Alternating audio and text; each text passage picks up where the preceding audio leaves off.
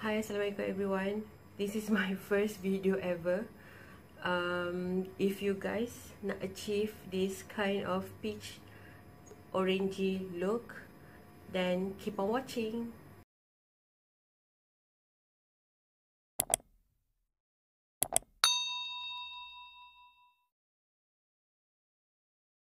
Saya akan gunakan uh, ABH Deep Brow Pomade in the shade Ebony uh, shade ni dia macam agak senang untuk uh, overdrawn. Maksudnya kalau kita guna heavy handed um, nanti macam senang. Sebab warna ni warna yang agak gelap sebenarnya untuk kulit Asia yang biasa-biasa ni. So just guna light handed untuk lukis kening hmm, okay. tak nanti kita akan nampak macam uh, nampak macam garang sikit lah daripada macam muka tu nampak garang. Sebab kening tu dah warna gelap lepas tu kita lukis macam pekat sangat. So tak boleh tak boleh lukis. Macam kena guna light handed lah. So kat depan uh, just feather it out guna spoolie.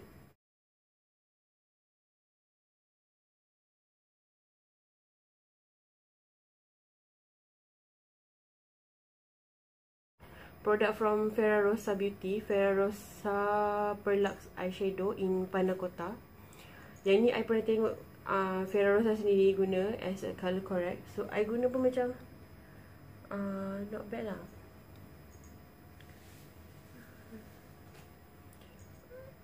I have a lot of uh, dark circles. And I punya eyelid ada discoloration macam warna gelap around my eyelid. I don't I'm I'm I don't know why.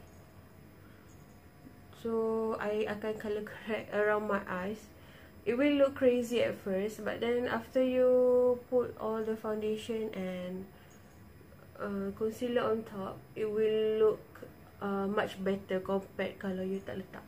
So next I akan pakai foundation this foundation from uh, MAC. I'm in the shade NC30 uh, yang ni Studio Fix Fluid daripada MAC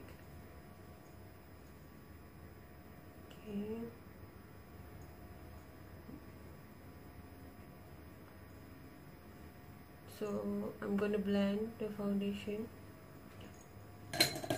using brush. For me,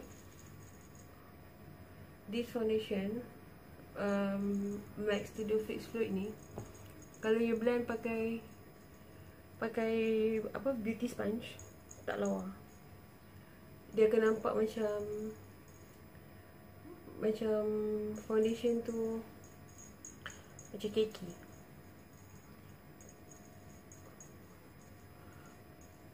kalau staff make dia recommend guna stippling brush untuk blend studio fix fluid ni tapi uh, Studio Fix Fluid ni kalau you blend pakai stippling brush Dia akan give you light coverage Because the stippling brush ni Dia tak pack tau. So you punya foundation akan jadi light coverage. Untuk dapatkan uh, To get the full coverage effect from this foundation Kena guna berus Yang dia punya bristle dia dense. Baru dia akan dapat uh, full coverage.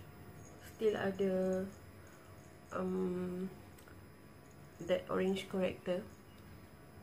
Tapi orange corrector tu kita akan blend guna uh, kita akan cover the orange corrector using this concealer yang ni semua orang tahu lah kot. Uh, Tarte Shape Concealer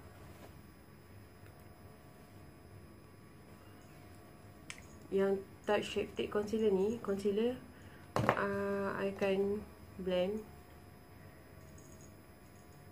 Guna sponge.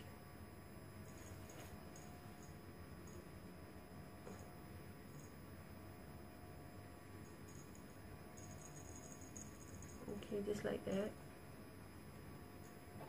Biasanya kalau I nak dapatkan full coverage uh, of this concealer I akan blend pakai uh, sponge yang kering bukan damp.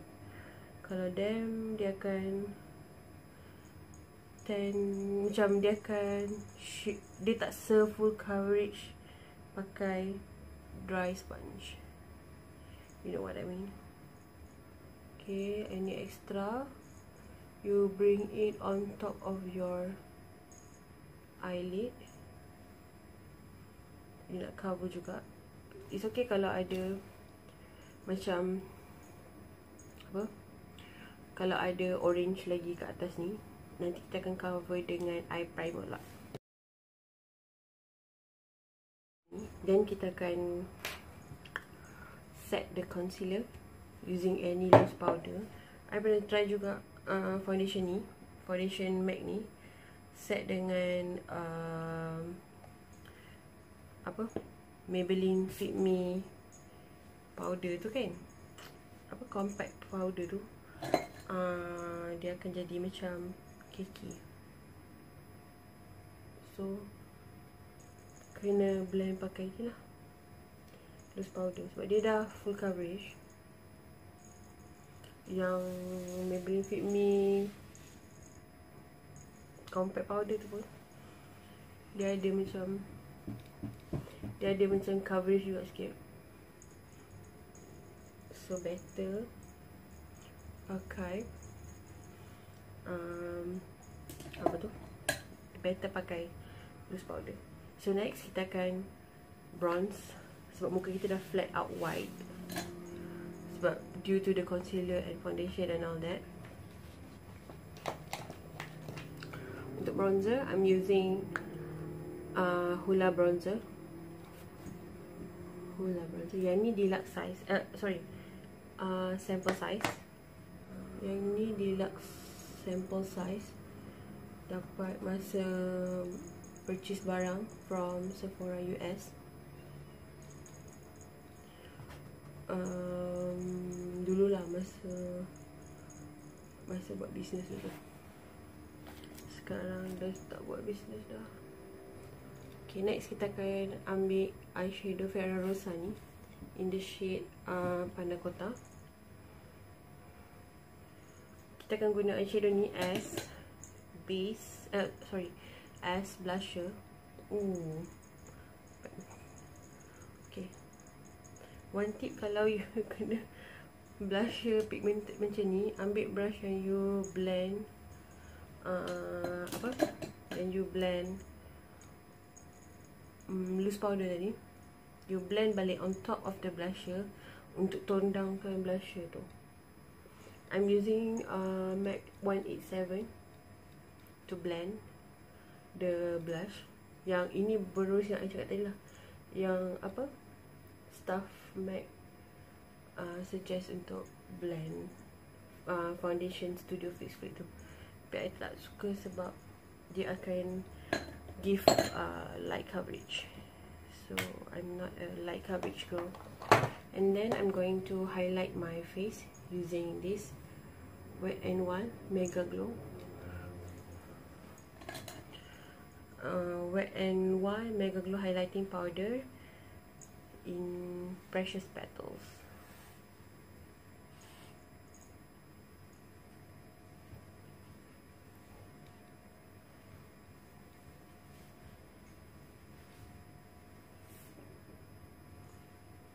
Next I'm going to take this Ferra Rosa Panna Cotta eyeshadow again. This time nak guna untuk as eyeshadow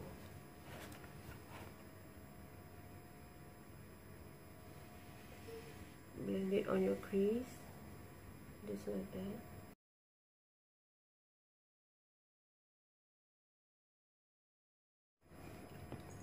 Okay, masa first apply ni Boleh nampak kan Macam belah sini Macam ada harsh line In between The eyeshadow Here and here. So I'm going to take any clean brush To blend The harsh line Up to the brow bone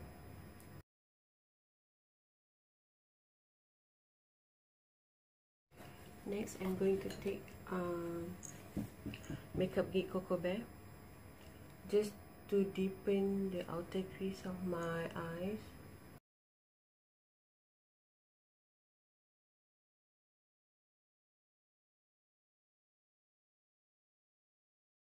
Next, kat depan ni dah bare. So, um, I'm going to take this. I'm going to take this Ferrosa Lollipop. Yang ni The best. The best eyeshadow topper ever. Uh, Kalau pop ada satu eyeshadow macam ni Tapi yang kalau pop tu dia lebih macam pigmented. Yang Ferrosa ni dia betul-betul eyeshadow topper. Yang kalau pop tu in the shade glass bowl yang tu kalau tak nak pakai as eyeshadow topper Kalau macam nak pakai as eyeshadow memang the bomb. Yang ni kalau nak as eyeshadow topper better ambil yang Ferrarosa ni. Okay so next would be next I'm going to apply mascara. Uh, I'm using this one uh, yang ni semua hype. L'Oreal Lash Paradise Mascara. Uh, Yang ni Very black punya For lipstick I'm going to use Sofwana Cosmet Sofwana Cosmetics Wonderstruck Lip, Lip Cream In the shade Dusk To go with the peachy orangey look.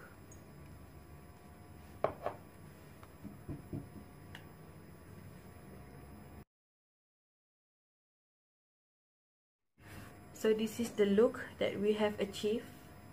Uh, this peachy kind of natural everyday look that you can easily achieve by using limited amount of products I mean the eyeshadow blusher we are going to say we are using the same product